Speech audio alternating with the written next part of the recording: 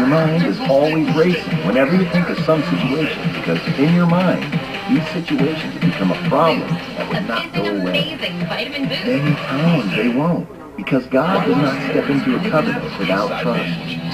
Yes, you heard me right. The only currency with which you seal covenants with God is your absolute and utmost trust.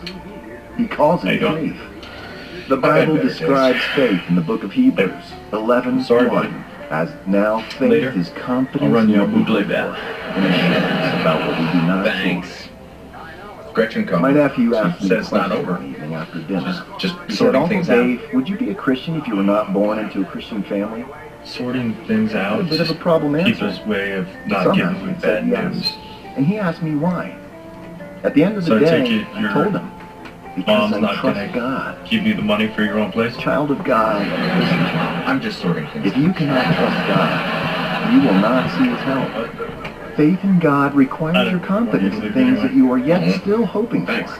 That translates into thanksgiving for an unanswered prayer that you just We're made. still together. It is you telling later. God that I. I don't know anything else, I thought but for I sure trust your judgment. So here's my request. You have to have faith that God has the capacity to work things out in your favor. You're me. telling me. God, I, you know, I've been so busy lately. I. I, really miss hanging out with you. me when we too. face You know, we should difficulties, pick a night whether it's financial difficulties, we just difficult relationships, together, no matter poor what's going health, on, or self-doubt. We just it's difficult to Okay, remember I like. That like God is still at work uh, in us. here every Thursday night. This is because, as humans, we base our beliefs on what we see, date. rather than on trust, Call it God two men hanging out. In trying conditions, having faith can help you find serenity in God's presence.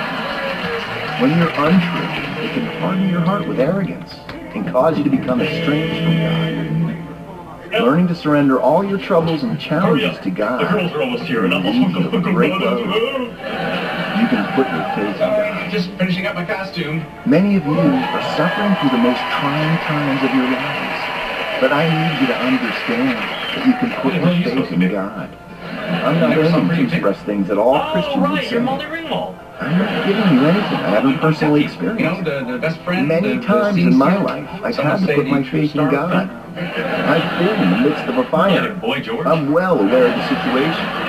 You may put your what do you faith in Him. some of the others, but- He is dependable. So when it comes to trusting God, like that means believing in His reliability, His word, Thank ability, you. and His Thank you strength. much. What decays The in Bible says that God faith. cannot lie, that He always keeps did your friend promises, Stacy say anything about that He loves beef? you, and has good supposed in store really for you. cute. She just moved down Trusting in after Him covering up. means believing in what He says about Himself, about the world, and about You know, you. if Dougie really wants to get lucky, he'll tell